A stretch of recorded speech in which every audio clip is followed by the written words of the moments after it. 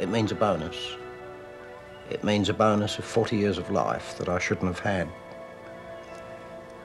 Most of my friends were killed there. And but for the RVV, the Dutch underground organisation that helped me, I think there is very li- I would have stood very little chance of getting back on my own. So I owe to the Dutch 40 years of life. It's a horrible memory, but we do owe it to the people of Holland to go back and visit and may it go on being so. Because it, the, I don't think that, well, I know, I don't say I don't think, I know that the, the Dutch people haven't been paid the respect for the bravery they've done or to the airborne forces.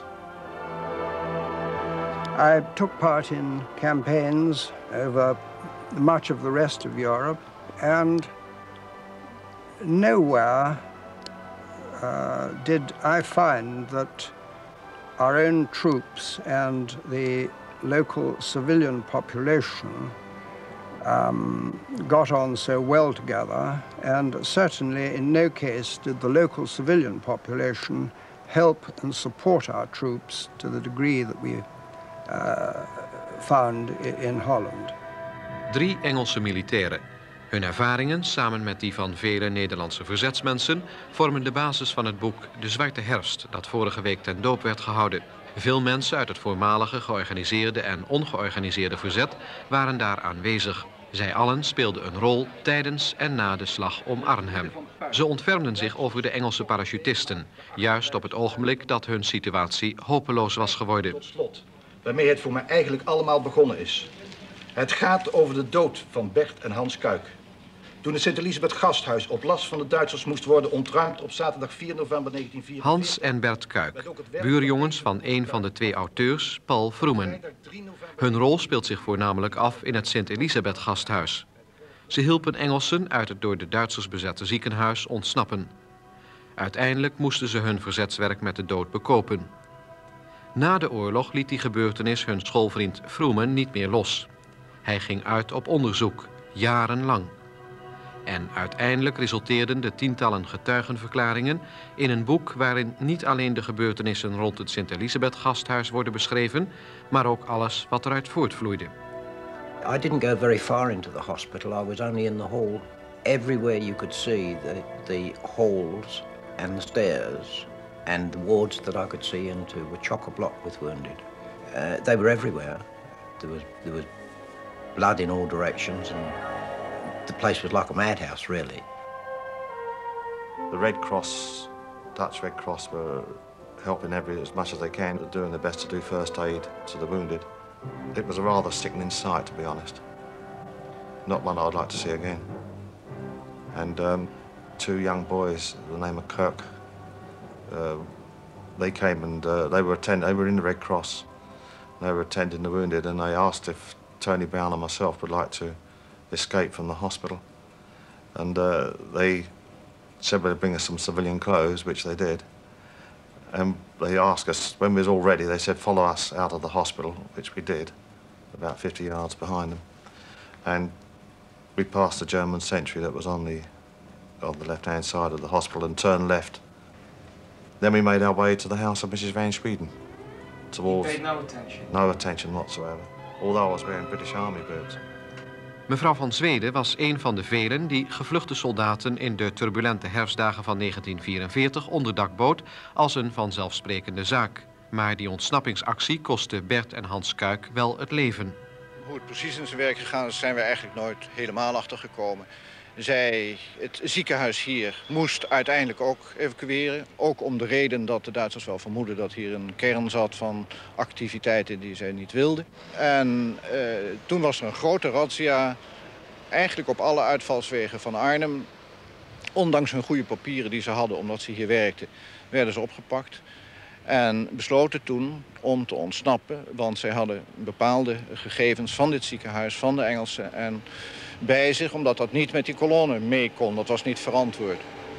Als dat gevonden zou zijn, zou dat fataal eh, kunnen zijn. Dus zij zijn ontsnapt en zijn op de golflinks, waar ze toen gevangen gehouden werden, in de handen gelopen van een eh, patrouille Nederlandse SS. En die hebben gewoon ze meteen doodgeschoten. Ook Clyde-piloot Pat Murney lag korte tijd in het Elisabeth-gasthuis. Hij was gewond aan zijn voet. Daarna werd hij door de Duitsers afgevoerd naar Paleis het Loo. Na een paar dagen ontsnapte hij met twee anderen langs een brandslang uit het raam. Hij klom over de paleismuur en kwam terecht op de Amersfoortse weg. And we went along the Amersfoort Road for about, oh, nine or ten miles, I suppose.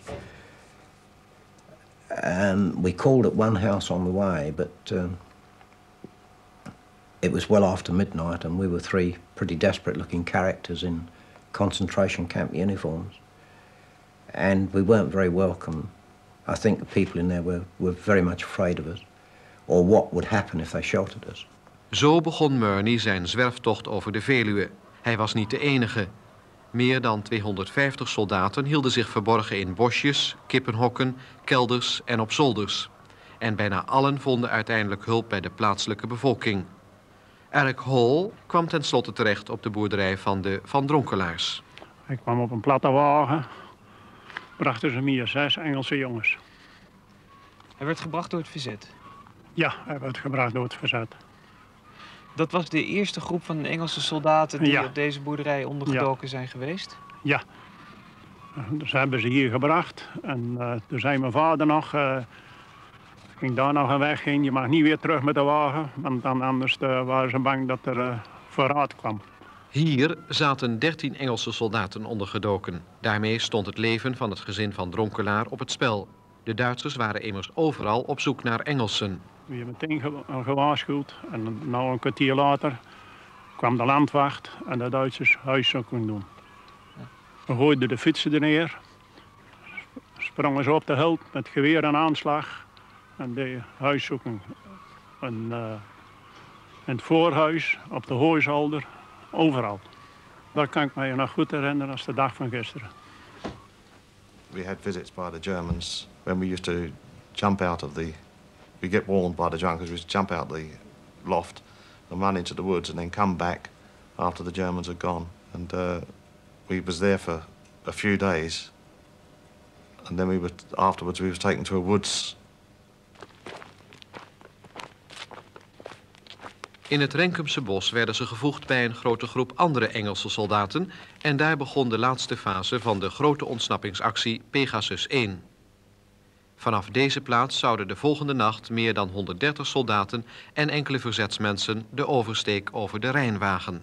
Two little children, a boy and a girl about 10 and 12, also with bicycles, um, were to ride ahead of us, about 50 metres ahead of us, with a clear instruction that if they were stopped, we went straight on, and if we were stopped, they went straight on, and we, we weren't to know each other under any circumstances. And we followed those children, and they um, went through Ada, and at one stage, they turned left off a main road into a minor road, and there was a full company of Germans being formed up on one side of the road with their officers on the pavement on the other. And we cycled between them.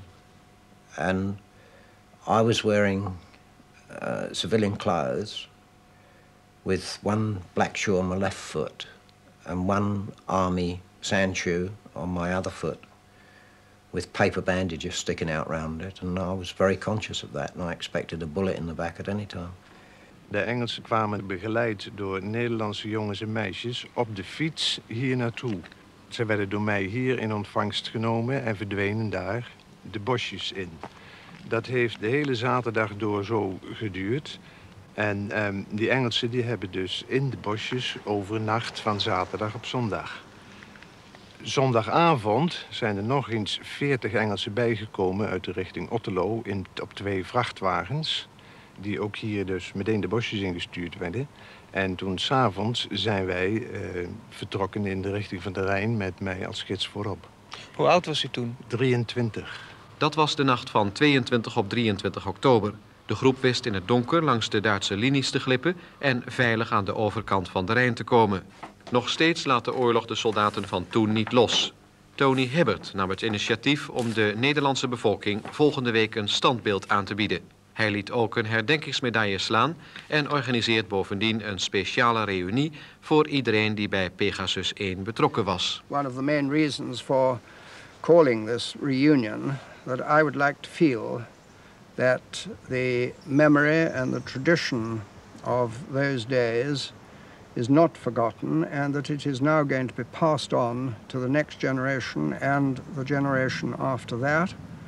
And that is why we've asked that people coming to the reunion should bring their families. In Holland, on the Sunday morning of the anniversary, there are always at least 2,000 people in that cemetery. And the thing that always makes me cry when I'm there is to see all those Dutch children in the middle of the service, silently going round and laying a flower on every grave.